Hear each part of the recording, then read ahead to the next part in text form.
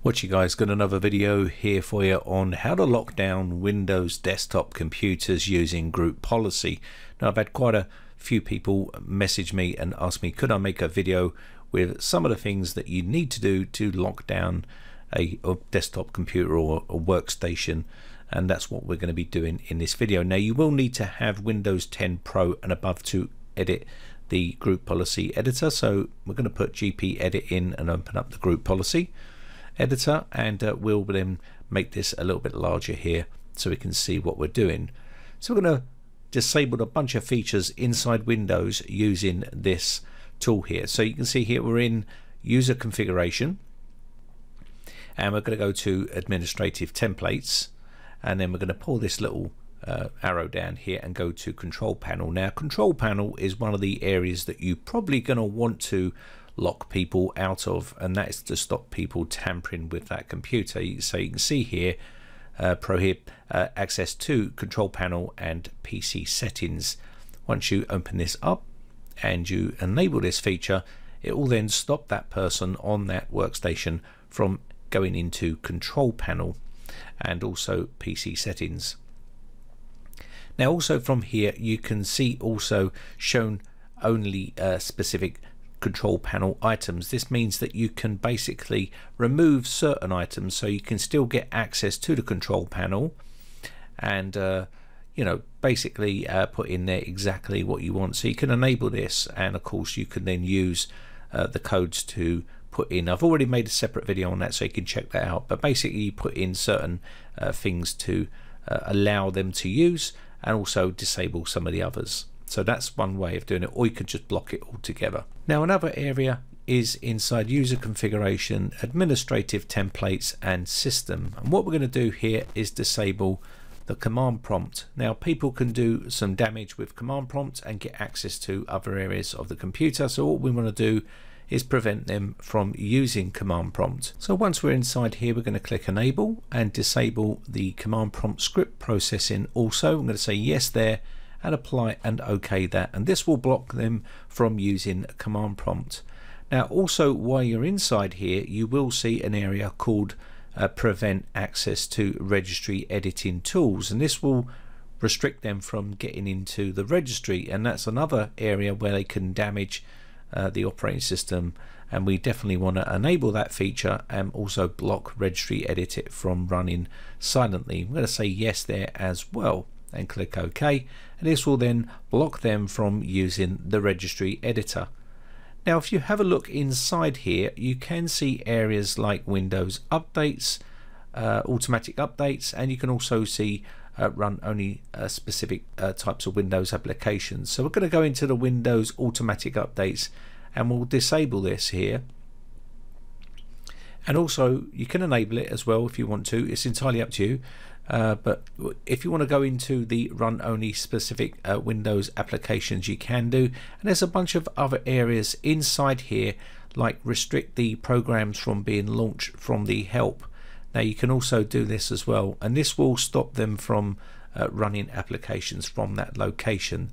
So inside here uh, you can enable this feature and then you will be able to put in uh, the executable files inside here so enter the executable separate by commas and that means example calc.exe paint.exe and so on. You can get the list of files which you might want to disable i.e command prompt and regedit and all those other types of files notepad and those other programs that you might want to try and block if they're trying to work a way around to getting the executable files to run from another location on the computer here.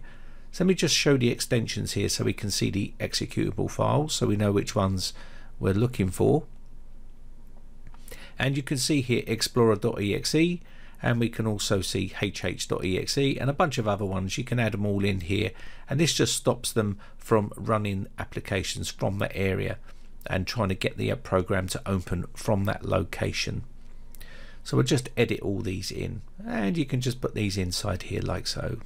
Okay, you can be a bit more imaginative and put more in there, but I'm just going to do these uh, for now. Okay. Once you've done that, you can apply and OK that, and that will stop them from running programs from that area. Okay, so let's move on to another area here. So we're going to take a look at, let's just see here. We've got, what else we've got here? We've got remove uh, storage access. And this is going to allow you to block um, people putting in say USB flash drives and copying data. Maybe you've got sensitive data on that machine and you want to block them from using any type of device plugging that in. You can also do separate items like uh, for instance removable disks and you can remove the read and write access to there. Maybe you just want to allow them to read uh, the access on that drive but not be able to write to it. You can do that so you can set that up to exactly how you want to uh, on your workstation or desktop PC. Okay, so we're inside now computer configuration and security settings. Right click and go new software restriction policy inside software restriction policies. Then go into the next box which is add additional rules and you can add a new hash rule inside here. And once we've done that we can now restrict the uh, programs inside here. So we're going to disallow any sort of security level for these and we're going to do PowerShell inside here. And you can add whatever you like inside here. This is just another way of doing things. So what we're going to do is search for PowerShell and then we're going to add that into our list okay? So let me just quickly look for PowerShell so let's uh, go back up to the folders here because PowerShell is in a folder I think. And I just need to find it. It's called Windows PowerShell. And there we go. Inside here go to version 1.0 and then click on PowerShell here and click OK. And it will add it inside here and we can disallow that program uh, from running. And we can do that with any other uh, program which we want to block. And we can build up our own little list here. Let's go to computer configuration administrative templates and in Windows components. And then what we're going to do here is we're going to drag this down and we're going to look for other areas like Windows updates. Go inside here. And what we're looking for here let me just try and find it. It's just called no auto restart with logon and users scheduled automation. That's it. That's the one we need. So we need to block this one here and click enable applying that and OK. And you can go in and spend more time inside here and block other stuff if you wish okay delay restart on schedule uh, installations you can do that also. You can also put in enable here and you can put in restart in so many time delay if you wanted to do that as well. Whatever you want to do with your sort of build Okay, so that's all done. So let's move on to another folder in this location called Windows Installer. And we can look inside here and basically you can see turn off Windows Installer. You've got prohibit rollback. We can also uh, prohibit any sort of user installs and stuff like that. And that's probably going to be one that I'll do here. But you can see here we have rollback here. So if you wanted to uh, prevent people from rolling back, you can do and uh, you can just go on here and enable this feature if that's what you want to do. If you don't you can leave it well alone and then go on to whatever you feels right for your uh, type of workstation. Now also inside here I'm just looking for prohib uh, user installs. So there's one there prohib user installs. We can uh, enable this feature as well. And of course you can set this to hide user installs as well if you wanted to and apply that and OK and there's loads of other settings you can mess with inside here. These are just two items that I've selected here. But if you look in the list there's a bunch of other stuff like turn off Windows installer uh, and all that sort of good stuff. So you can set this up exactly how you want uh, for your particular type of uh, uh thing here. So we're going to go to task scheduler here as well and take a look at that area there. And you can see prohibit new uh, task creation. And you can set this to enable if you want to and also uh, you can set this to prevent task run or end. And also there's other ones like uh, prohibit browser. So basically stop you browsing uh, the task scheduler. So you can also set this up if you wanted to. Uh, prohibit task deletion. There's another one there to stop them deleting tasks. Once you've set a task to run you may want to stop them from tampering with it. And you can do that also as well. So there's plenty of other things you can do inside here. Another thing that you want to do is you want to make sure that the uh, default user account is disabled and by default now I think it is disabled but I'll just show you computer configuration. And inside here we're looking for Windows settings and we're going to go into let's see I think it's security settings here. There we go. And I think we've got a low is it account policies or local policies? I think it might be uh, local policies. And is it inside security options? I can't remember. It's in one of these areas here. I think it's actually security options here.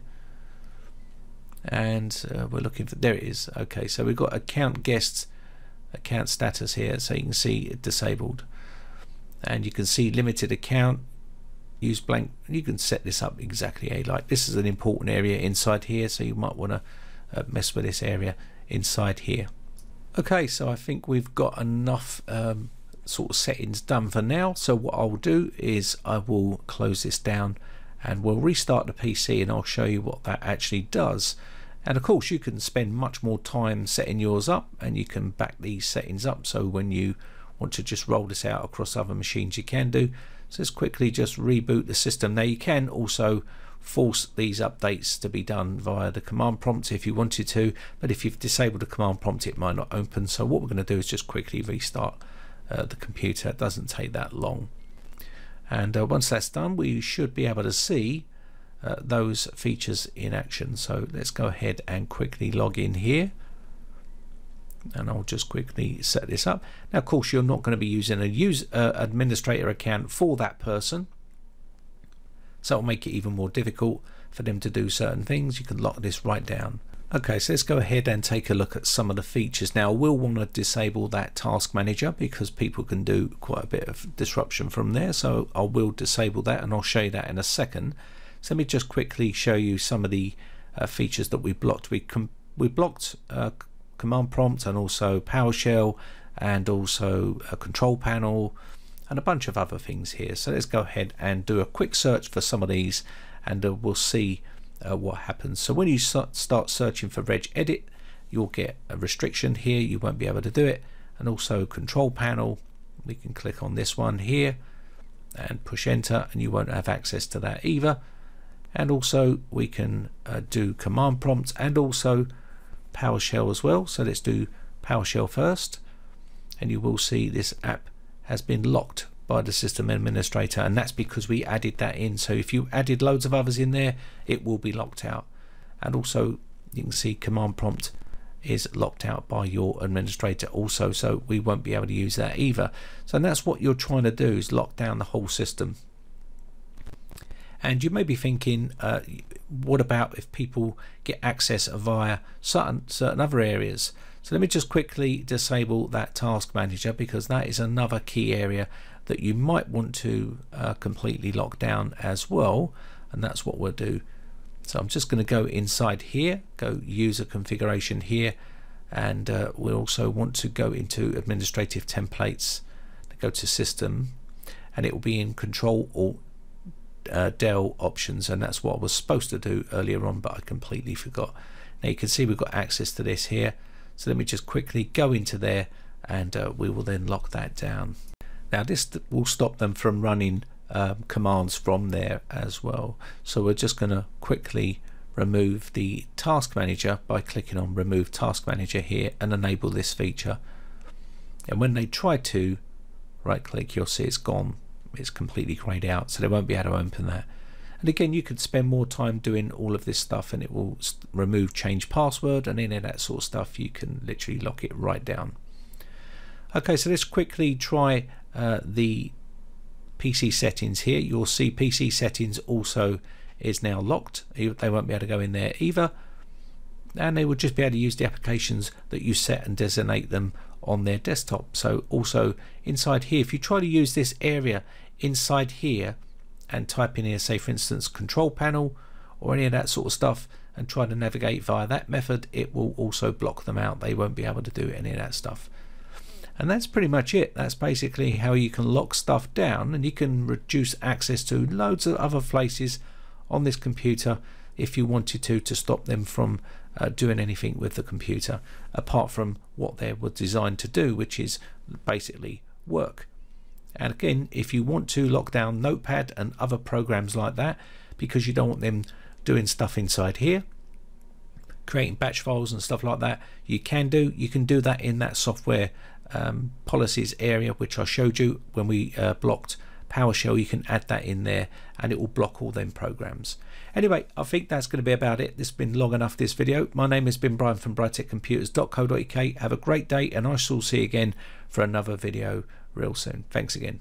Bye for now. Now, if you haven't subscribed yet, hit the red subscribe button and then hit the bell notification button and click all to be notified when we upload new videos.